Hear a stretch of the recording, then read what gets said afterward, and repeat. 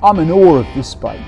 This was built by a racer, a Vincent racer no less, Peter Darvill, who built this out of proper Vincent parts for his own collection.